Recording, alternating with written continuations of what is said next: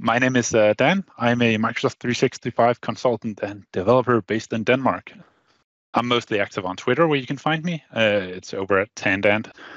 And uh, feel free to reach out if you have any questions about this uh, this demo that we're going to see. And there's, yeah, really just uh, ask anything you feel like. So, what is uh, the quick links web part that I've created?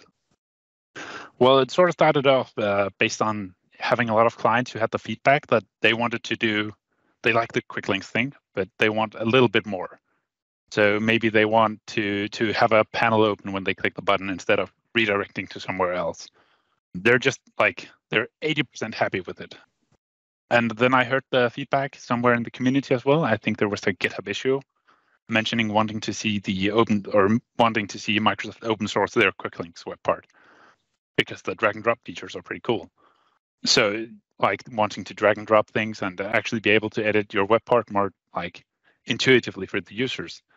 And I thought being a Microsoft 365 consultant, uh, I don't actually often like build proper web parts. I kind of just botch things together. Uh, so using the property pane is not something that I do all that much, to be honest. Uh, so I wanted to like learn or be better to do that or better at doing that.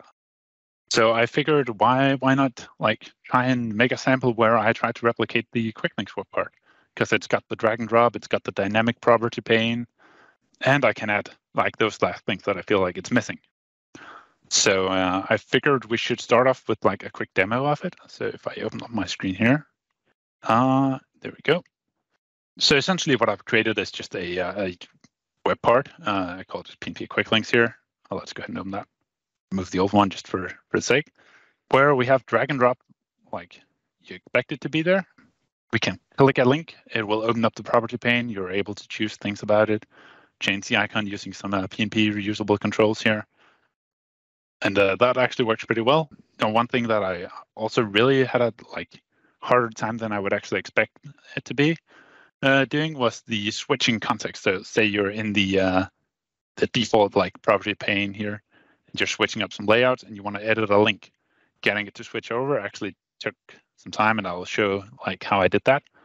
But what was probably actually my biggest challenge in building this thing uh, was getting this like drag and drop feature to to work the way I wanted it to and I'll have some some like uh, small clips later of how it went during the the process. Um, but essentially, I've created like uh, I think 80% of what the tiles quick links web part can do. We have different sizes. We have the ability to only show an icon. You can click. You can add a new link. The one thing that I decided actively not to do was audience targeting, uh, just because I didn't feel like dealing with it. So that might be for a later demo or something. But yeah, that's essentially the web part using the PNP reusable control uh, web part title as well. So really just trying to replicate what Microsoft is doing out of the box so we can do better or do more with it.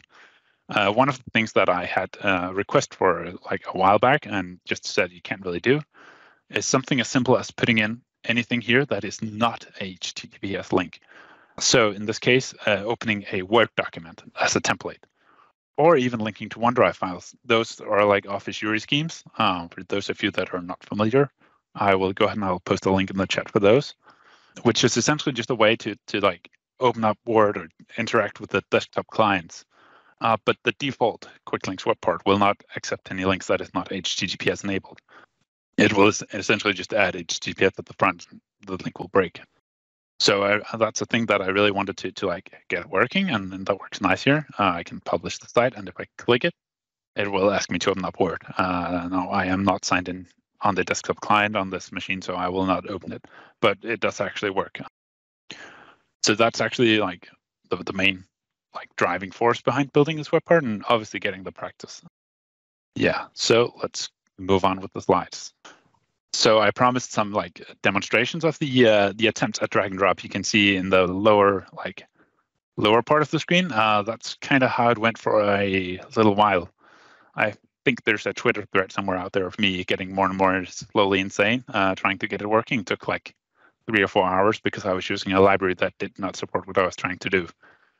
And then I demonstrate on the right how the uh, the default like column view in SharePoint lists. I realize now there's a lot going on on the screen. The default like uh, view in SharePoint the board view doesn't even support this. Uh, just sorts by whatever column you've set it to sort by. So you can't actually drag and drop the cards at different like positions. And figuring out how to do that actually took, took like quite a while. What I ended up doing was I was looking at the DevOps because it has a like you can see more in the dev boards, and you can see that they're using some kind of number to to position the card. But I couldn't really figure out how they were doing it. So what I did is I thought, uh, well, I'm going to need some kind of variable that I'm sorting by. So I called that the sort weight. Uh, so essentially what I'm doing with the sort weight is I am saying this is like, I'm going to just sort the items by this actually, this value. And what I did is I said uh, zero will be my lowest value and one will be my highest value. Uh, that way I can essentially say anytime I put in a new tile, give it a value that is exactly in between whichever two I am working on. So let's say I wanted to enter or put input a new link on the left, that would get 0.25 because that is like in between 0.5 and 0. And this way the number will essentially always stay between 0 and 1, but it will just get a very large amount of decimals in the end, but it will actually work. So adding a new one in between those two would be 0.0375. And that way, whenever I switch them around, I can always just like grab the, the item just before it which in this case would like in the middle there would be 0.25 and the other one 0.5 and divide those by two. And then if I move a thing around, so let's say I move the middle one to the left like this, it's essentially just going to be like, oh, that's 0.125 because that is in between, between 0 and 0.25. So uh, looking at the code that is doing this, it is, I mean, it looks more complex than it is. One of the things that took me a little bit of time was getting like getting it to work in the scenario where you don't have enough links. So if you have 10 links and you're dragging it to somewhere where there's two new links, that works awesome. But sometimes you're going to be moving it where it is now essentially its own neighbor uh, in the calculation, which took a little bit of, of work. Of course, the sample links will also be provided where you will find like the code if you need it. Uh, I decided not to really share the code on screen in Visual Studio this time. But what is happening is we're taking all the links and we're sorting those by the sort weight. That way we have an already sorted array, which is what we're also working with in the UI. So I'm just like uh, duplicating the array. And then I wrote this get average function that just makes sure that if the previous one is null, I'm handling it and giving it the correct one. And just looping through uh, and essentially just returning sort of the array. Yeah, there we go. And Moving on to, to the other part of the demo, the property pane. The property pane is one of those things that is actually really awesome about working with SPFX, but like I said in the beginning, that I don't get to use all that often. I tend to just hard code values. But working with it, it's actually really neat how you can build something that is so generic, you can actually hand it out to, to multiple people. Um, and they can configure it based on their needs. Um, so here we're just seeing like the same thing I sort of went over in the demo that you can change properties and, and it interacts live with the web part. And I guess uh, based on that, I, I, like took a few learnings that I, I want to keep in mind the next time I'm building something where I'm using the property pane. Those are you can uh, use ind- you can use arrays in the uh, property. I guess we can call it the property bag. Um, I don't really know if there's a name for that. Uh, so essentially, you can just like use square brackets and you can just put a number in there and that actually works on accessing yeah accessing the data in the like property bag let's call it that the property control json thing or whatever it's called which is really neat. Uh, and it, i think it's also what the uh, there's the pnp controls that reusable control that you can use that essentially gives you a list you can use. Um, i think that does the same thing.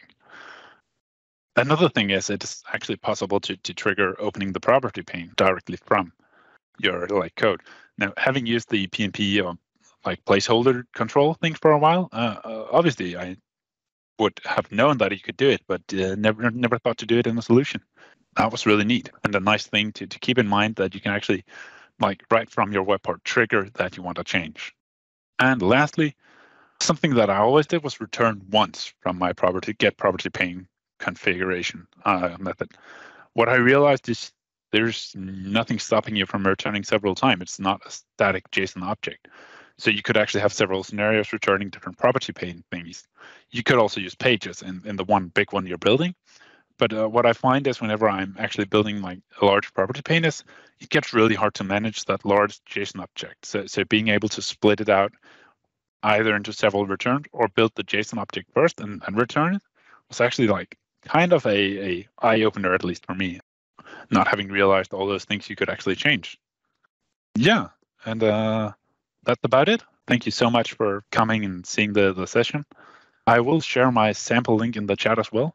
And if there are any questions, please uh, feel free to, to send them in the chat or reach out uh, either later or on Twitter. I will be available there as well. Yeah, thank you. And back to you, Gary.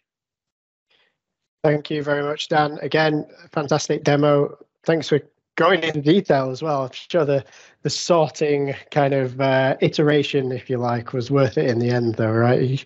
It's the, it's the process, right? Oh, it's not quite working. It's not quite working, and then hey, it's worthwhile all this time. Absolutely. Fantastic. Okay, thank you very much.